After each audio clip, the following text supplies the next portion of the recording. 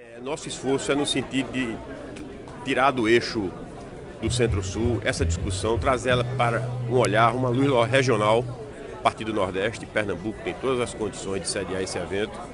e a partir daqui trazer cabeça, inteligência na área da academia, na área técnica, na área governamental, no Executivo Federal, para que a gente possa discutir caminhos e soluções estruturadoras para a questão do meio ambiente a partir da biomassa, das eólicas, da hidroeletricidade. Se desse fólio nós conseguirmos afirmar o Renova Bio, que é o grande programa nosso, é esse do Renova Bio. A gente entende que o Renova Bio, discutido no governo federal e ainda não aprovado, será um vetor importante e estruturador para que a biomassa, sobretudo a biomassa renovável, se afirme